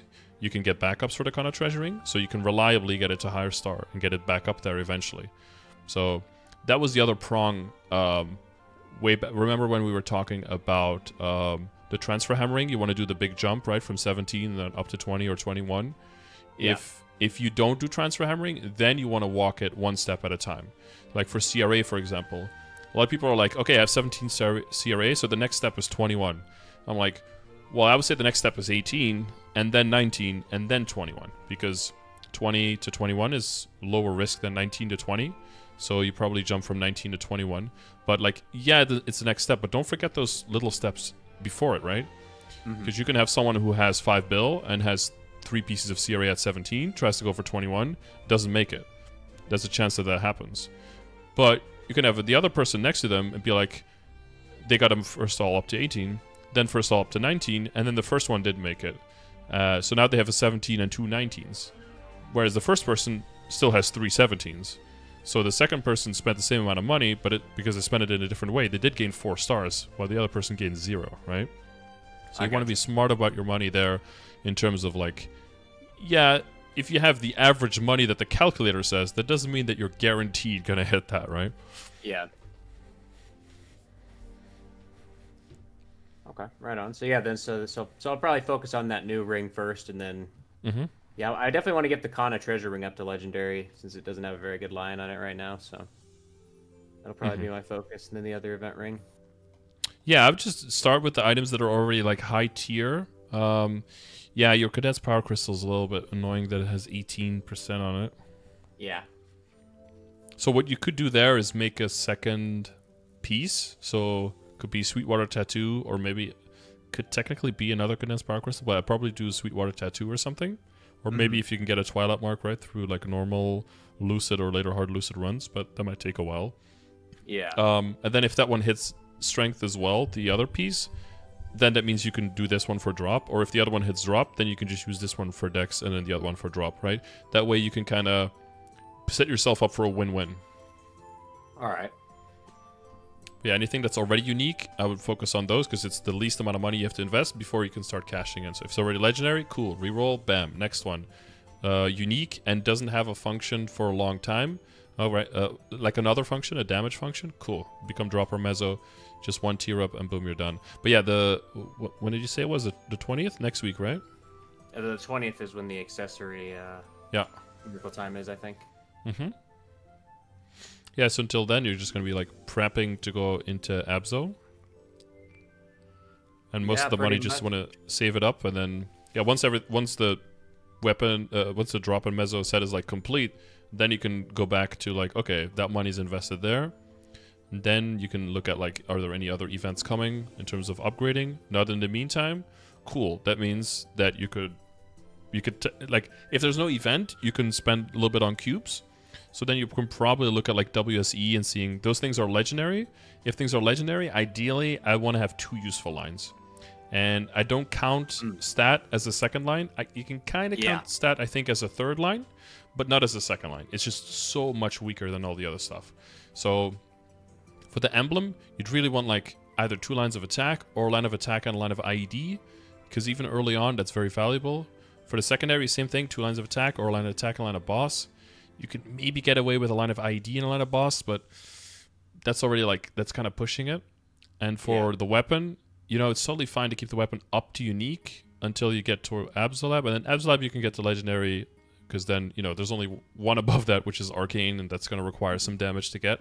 And then well above that is the Genesis, which already comes unique, and that's a year away at least. So I, I, I didn't know that came unique, but I, I haven't really done any research on that. It's just so far off. Yeah, yeah, it's yeah, it's when it's so much work, but so it comes completely 22 starred and Wow. like done. It comes with unique regular potential, epic bonus potential on non-reboot, and non-reboot has like the scrolling thing as well, so it comes like fully scrolled and done as well. And then it has two skills. One is the iframe, and the other one is uh, 10% final damage, like passive, essentially. So Cool. it's yeah, it's insane, and it's a lucky item as well. So it combines with multiple sets. So that's typically when Oh, people, wow. uh, yeah, if you have like four set uh, or three set pieces CRA and four set arcane, then it becomes like the the five set and the four set respectively. So it also it gives you back the uh, the set bonus that the weapon has now of the extra 30% boss damage as well. Isn't there something like the slime ring too? It's like Mm-hmm. out for the boss set, or is that a similar thing? Uh, so the slime ring, when they released the slime ring, they made it part of the boss accessory set, and then right after that, they were like in Korea, because in Korea they don't have Sweetwater stuff and they don't have Gollux, so there's a huge gap there in their progression. They they literally do like they like craft items like with smithing and stuff, um, like face accessories and pendants and things like that, and it's like some. It looks like some 2008 shit. Uh, um, so, but so when they made like the Daybreak set, right? So they they took uh, the Twilight Mark came and like the Estella earrings and the uh, what's the pendant? Daybreak pendant, and then they were like, oh, the slime ring that we just came out, those bosses are around the same level, so we'll add the slime ring as well. And it's like, oh, but they just released it as part of the boss accessory set, and believe it or not, boss accessory set is. It's well now maybe not as much anymore because of the Daybreak set, but until then was best in slot like end game for Korea. So they would have like uh, quite a few items that they would just keep. Like the Dominator pen would be best in slot, and then the Slime Ring, and then the Uh, the Crystal Ventus badge, right? If they had no other badge, would be like that three set would be their end their end game best in the slot. So it'd be like, well, you just gave us other pieces. We just upgraded. We spent like thousands of dollars on like min maxing this stuff because it was going to be our best in slot, and now you change the set bonus. So what they did was they gave it this scroll, and you can buy the scroll, and then you change which set it belongs to, essentially. So Oh, either, day, okay. either Daybreak or so the default will be that it's part of the boss accessory set. If you want to use it as Daybreak, you just buy the scroll, which is like 10 mil or something from the NPC, and then it changes it to Daybreak set bonus instead. Okay. Yeah. I, I- you know, I actually just just randomly other question because I was just looking at it. So on the uh, Mm-hmm. the Fafnir, is that 32 attack line? Is that worth anything, or is that just like No. pretty much a garbage line? Okay, gotcha. Yeah. Yeah, it used to be like it gave you a certain amount of attack per level, uh, but instead of doing that, they just changed it to flat amounts. But now it just looks incredibly silly. Yeah. and yeah, and people with like 21 attack, pla- 21% attack plus 32 attack just want to strangle uh, anything that comes near them whenever you roll stuff like that. Yeah, it just looks uh, it just looks silly. so even though those are all three like useful stats to me, it's not necessarily they're not good rolls. Yeah, so if you had, for example, like just the worst top line you could imagine, and then nine attack, nine attack, that would be- doing way more than this, for example. Oh, okay, gotcha. Yeah. But again, this weapon is going to re- replace with Absolab soon, right? So you don't Yeah. want to like invest more into this one. The Yeah, I was just secondary, curious. um, the secondary in the base damage is really, really close to like the Princess No. But because Yeah. you can make a Princess No on the side, you can very, in a very cheap way, just roll whenever you want to, without the possible downside of ending up with nothing. So you kind of want to just alternate between the two, very similar, like we were just talking about, like the drop and the meso pieces, right? And just pick Mhm. whatever is the best one in the moment, swap it out, and then just roll the other one when you want to. The emblem is a little bit more delicate in that way because you can sometimes there are events that give out um, like unique or legendary emblems, and sometimes people will put those on boss mules to save on the money for tearing up. But the way it's actually more valuable is to put it on a character that you know you're going to be playing for a long time, and you're not very quickly going to be getting to like the Seren emblem, which is you know Yeah. hard Seren. Because then, if you get to that point, you can use it just like the secondary and just roll the other one on the side, which is how I very recently here on my hero managed to roll uh, a three line attack emblem because I had this one, which is, you know, it's nice. 40 IED and 18 attack is very solid. All three lines are Yeah. doing something. You can build around that. You can keep this very far into the game. And then I have my my free cubes for my bossing and I just threw them on the, on the emblem on the side. If I didn't have this second emblem here, then I would have never been able to roll this because I would never roll like five or ten cubes at a time, right? Because now you're gonna, yeah, you have something shitty and now you lose all that damage, so it doesn't make any sense. Now that basically forces you into using bright cubes, which is very very expensive way of rolling. I don't know if you looked at the calculations between glowing and bright, depending on the, the potential you're going for. Not, I mean, not really, but I can I Mhm. can imagine that it's not as good value for sure. Mhm. Yeah, they've got better odds for prime lines. So if I was looking for 33%, Oh, I actually did not know that. Yeah.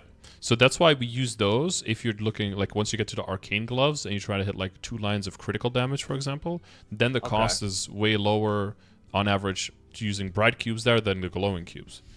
Um, same thing with if you're trying to make like a boss, uh, or you're trying to make drop meso set that's like a really solid one that has like maximum drop and maximum meso in one set, so you'll need a lot of double lines.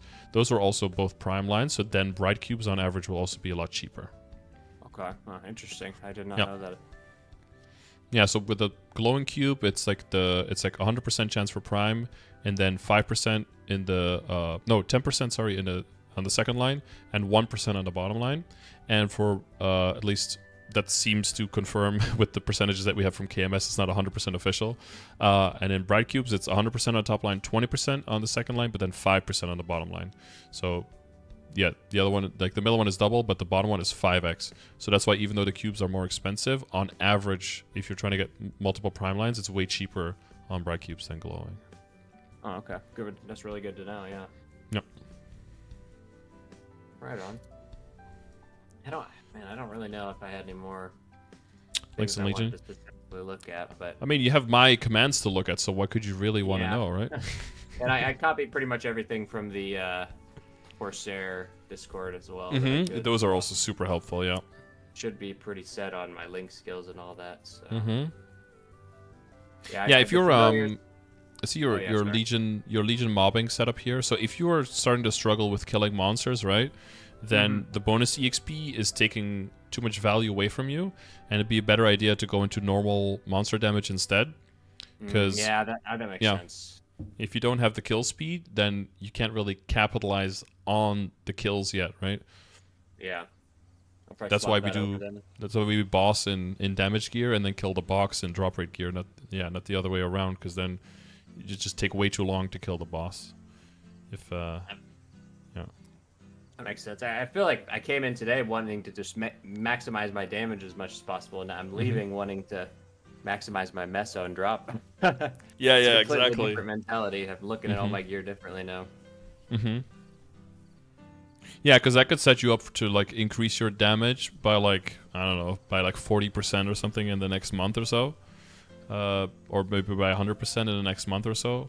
But then after that, you're gonna every single upgrade you're gonna want to make after that is gonna take so long that that can be a very demotivating thing. Now that might be good because then that means you don't you know spending your entire life playing this game.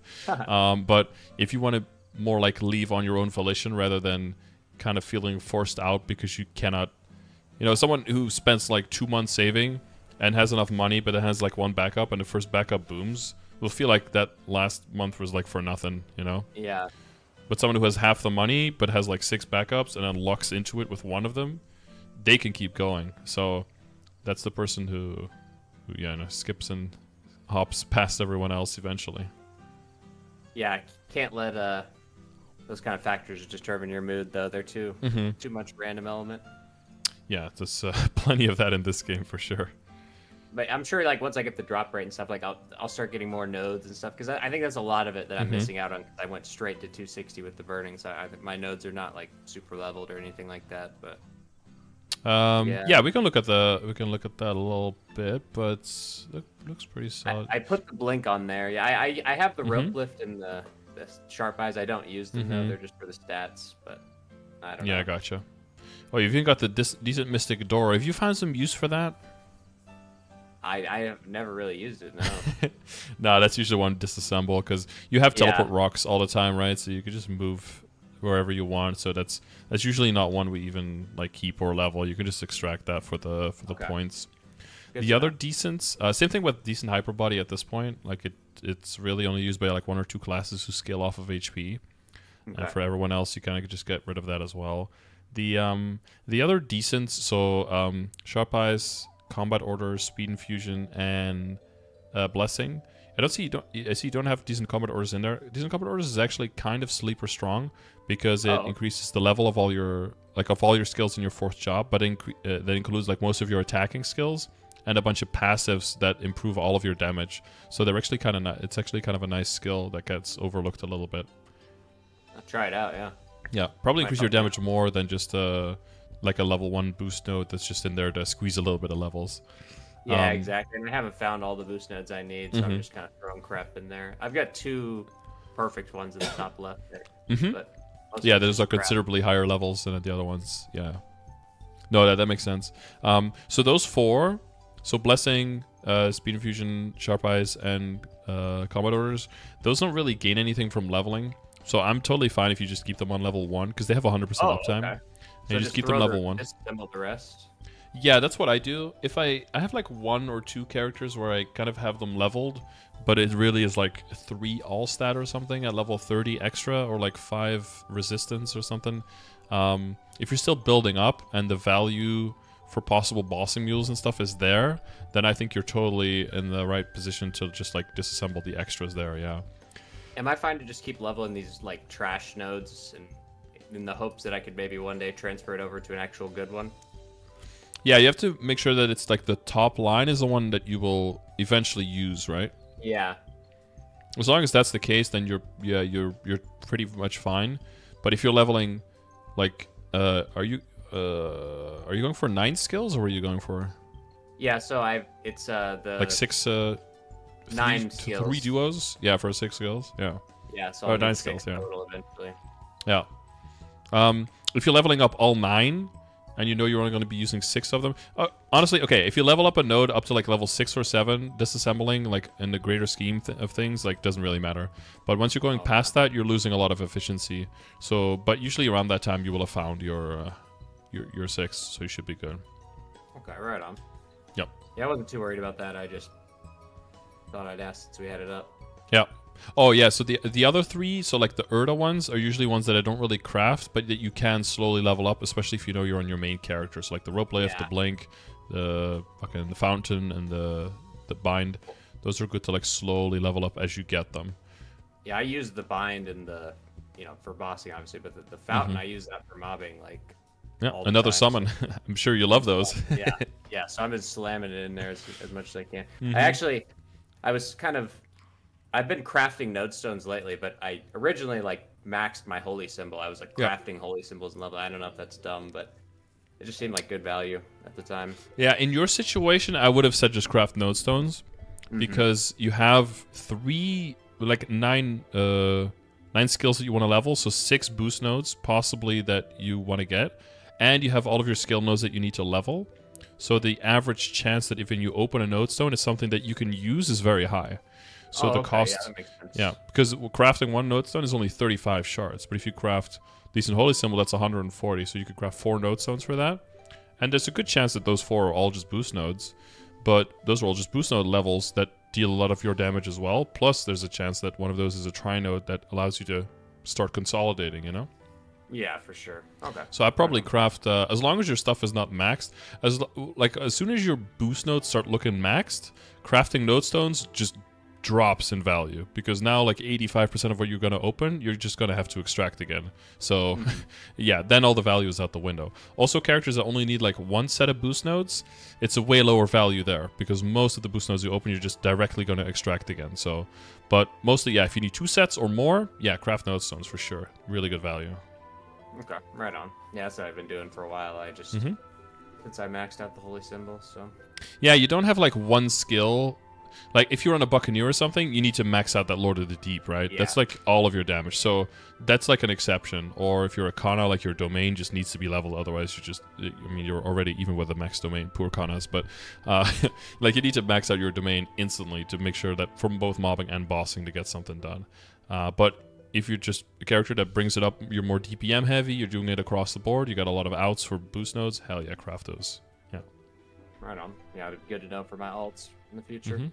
I think I'm probably do mechanic next. I don't know. It just seems to be similar to the Corsair playstyle. Yeah, a lot of summons. I think you might like Cannoneer as well. It's also got a Oh, yeah, decent I- amount of. Um, on my radar for sure. And I Mhm. love the the uh, you know they have the wings on the Corsair, but the Cannoneer has kind of a similar thing without the glide. But I love that, Yeah. just like being able to just pop up real quick. yeah, you just jump on the cannon, kind of like hold on to it while you're firing it. Yeah, you can also Very use it. Uh, you can use your first one from the ground as well, so that gives you like a little bit of an uh, like a fourth, because you can jump and then you can boost twice. But if you use the first one from the ground, then you can kind of get three up jumps that way. oh, okay. Oh, and if you like that way of moving, um, Blaster has kind of the same thing that uh, Cannoneer does, but like on steroids.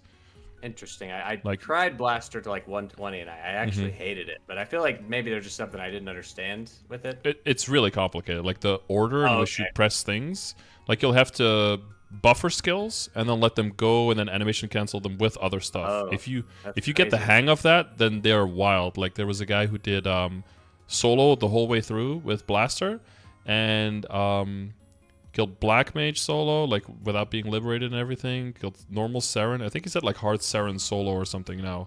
But like Wow. just did the whole thing like completely alone because Blaster builds up a lot of shields, so you can actually tank quite a lot of hits. And because of the movement ability and like the bobbing and the weaving, uh, if you're really good mechanically, it can do a whole lot of stuff. Maybe I'll Um, check it out. Do a yeah, little but bit Bla- more research.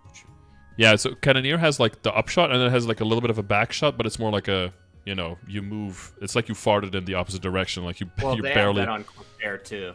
yeah, the yeah, yeah, exactly. shot. Yeah, but like um, I could show you on stream, but like on the um, Mhm. like Blaster can do that. Like give itself way more momentum that way. Okay. I mean, I like mo- movement like that, so maybe I would like Blaster if I just figure it out a little bit more. Yeah, it seems very similar to the Corsair movement, but it's it's much faster. Yeah, so you could do multiple horizontal ones, and then you can just wait. uh You could, you could it, it like stacks in the um, the movement speed. Yeah, this I get kind of get stuck Oh, wow. on things here, but Yeah, it's kind of a weird map to do it on, but yeah. yeah, the vanishing journey map is really cool. You could just slam from one side to yeah. the other one, uh, just like over the top. Hang on, let's see if I could do it. Okay, waste your time a little bit more. Hang on. Oh, no worries.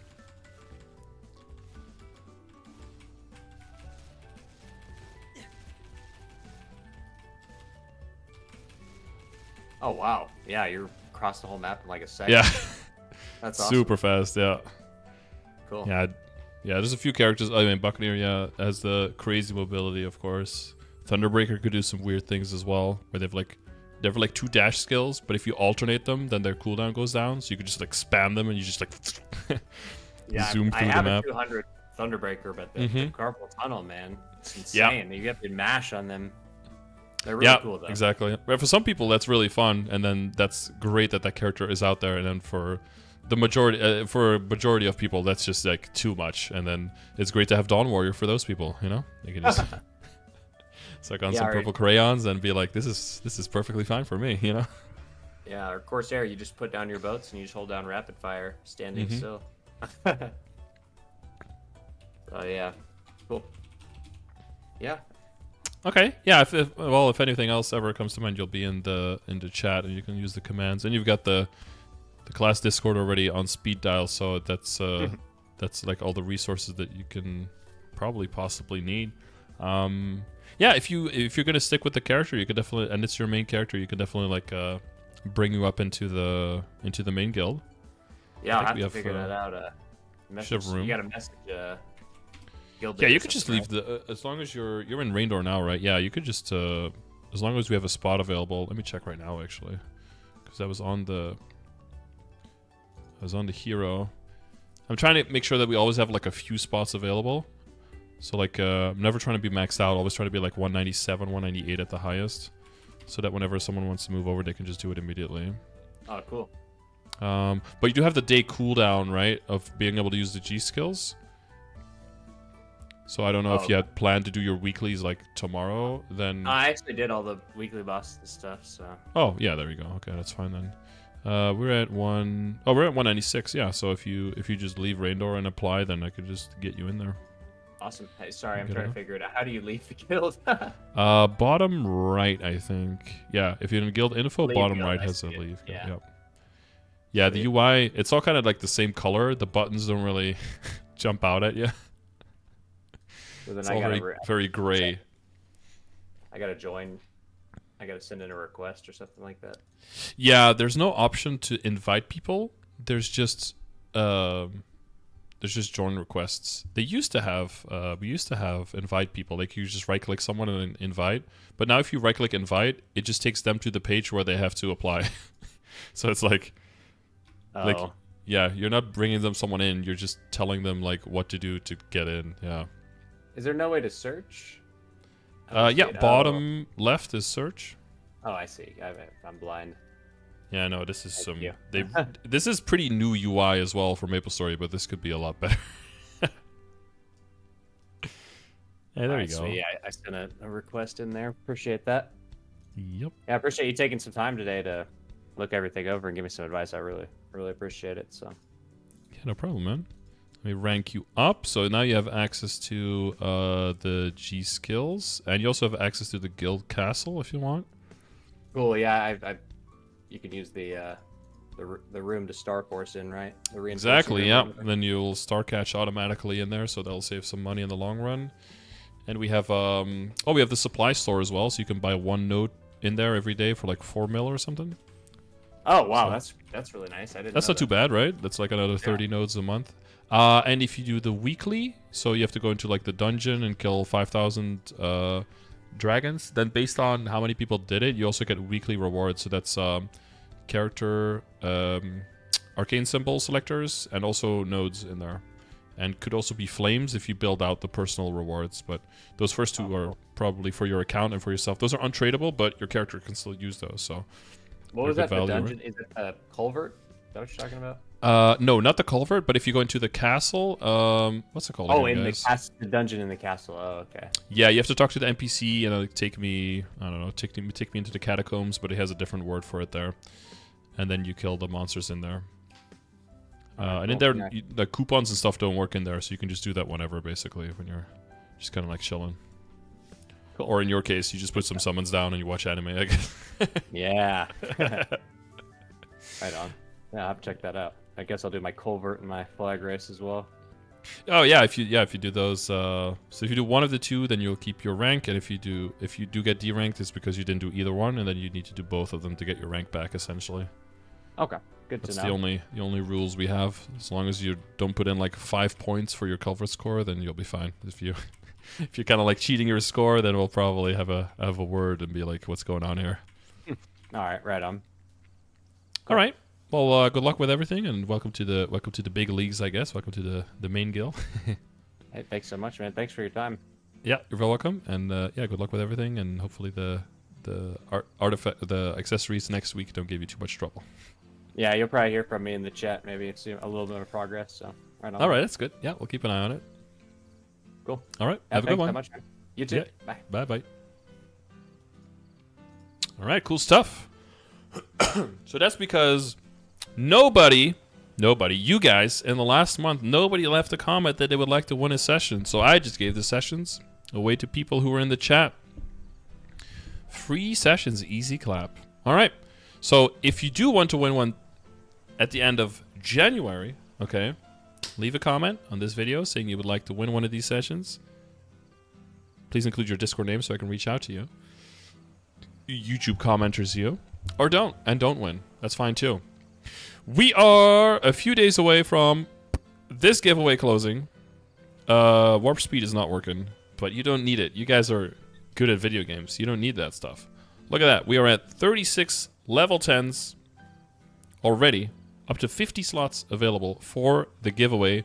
The giveaway for what? The giveaway for 10 Vec Pets or Waters of Life. Oh, never mind. There's only 13 slots available because someone just got to level 10, as you can see. Um, yeah, all that being said, these commands, this information is all available through the Twitch chat, twitch.tv slash Scardor. You can go in there, exclamation mark dailies, exclamation mark progression, or just exclamation mark info, and it has all of the info, or exclamation mark help, all of that works. It'll take you to a big list with all of the commands that are available, a little bit over 200, that will give you information and help you through the game. Make sure that you don't get stuck or that you can get some more information on a topic. And if you still have additional questions, we'll be there for you. Class discords are a great resource as well for people if it's a specific class question. If it's a general game mechanic question, I could probably help you out. So hopefully that was useful. Hopefully that was enjoyable to watch. Hopefully you picked up a thing or two. And I will see you either in the next video or you could be a person having a session with me. You can check exclamation mark coaching or description of the video on how to do that. Leaving a comment is one way to do it, but not the only way. Um, or I'll see you live on stream. I stream every day over at twitch.tv slash Scardor. So feel free to check in every now and then. All right. Thanks for watching. See you in the next one.